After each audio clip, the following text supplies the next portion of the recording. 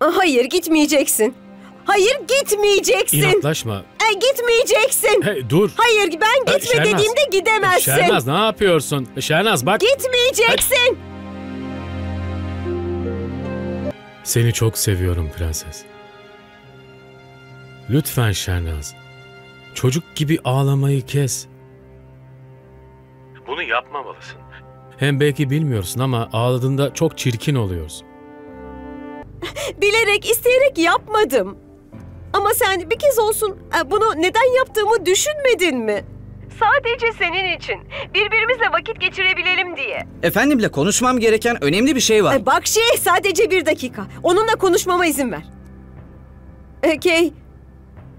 E, konuş benimle lütfen.